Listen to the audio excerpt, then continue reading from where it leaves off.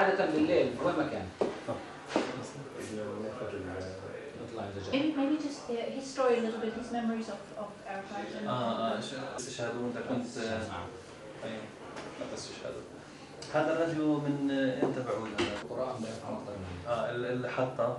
الحطة بتعرف الرئيس آه، طول عمره بيلبس حطة. أيوه. هاي اخر حطه اللي كان يستخدمها لغايه مش انه واحد يكون زعلان كل شيء تمام بين- مش مش مشاكل في لا، لا. هي دخلت مين؟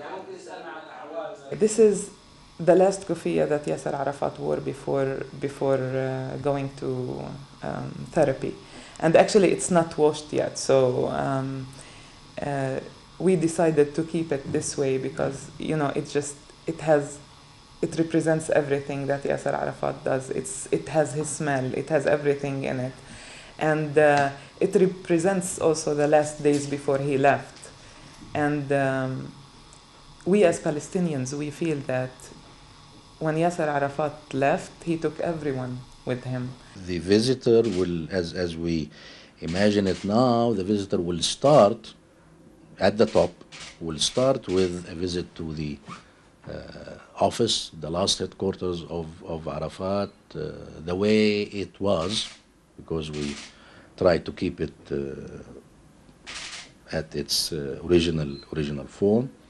Uh, get the feeling of of those days, the office, Arafat under siege, and then from there comes back through the museum itself, the the main part of the uh, museum, seeing uh, some items, including some uh, uh, belongings to to of, of of Arafat that were. Uh, Presented to him by many uh, heads of states, many leaders,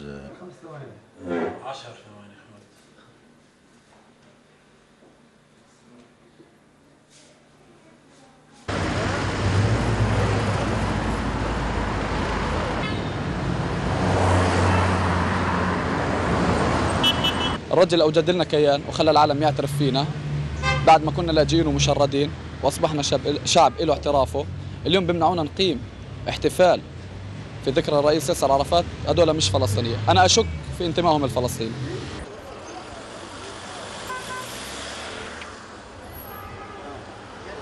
Abu Ammar, I believe he's uh, a real leadership, real, real leadership from population Palestinian, and he's a symbol. He's not, uh, he's a man, a hero man. I don't believe uh, we will find uh, a man such as Abu Ammar in this time. This is a part of the long march to our independent state, to our capital, Palestine, Jerusalem.